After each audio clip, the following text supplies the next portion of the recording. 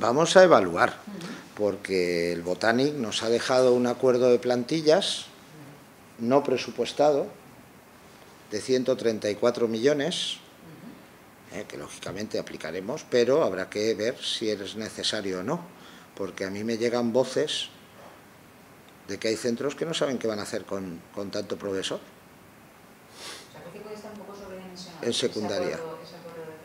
Sí, yo creo que es la bomba de relojería que nos ha dejado el Botanic en esta consellería. Hombre, tienen que volver a gritar aquello de los recortes, ¿no? ¿Eh? Y una pregunta. Pero quiero decir, las plantillas no se trata de que estén dimensionadas bien o mal, se trata de que sean las adecuadas. Eh, ni un profesor menos de los necesarios, ni un profesor más de los necesarios. Porque aquí gestionamos los impuestos de los valencianos. Y eso es sagrado.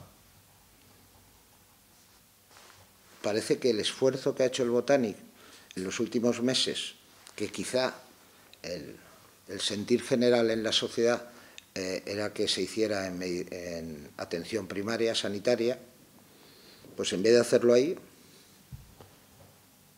lo han hecho eh, sobre todo en educación secundaria. ¿Por qué? Habría que preguntarle a ellos.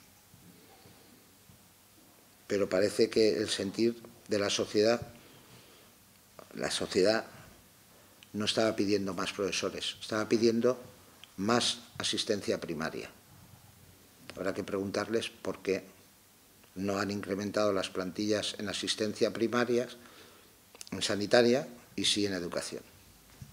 Esa respuesta no la tengo yo. Pero eso ya lo estudiaremos, analizaremos y veremos.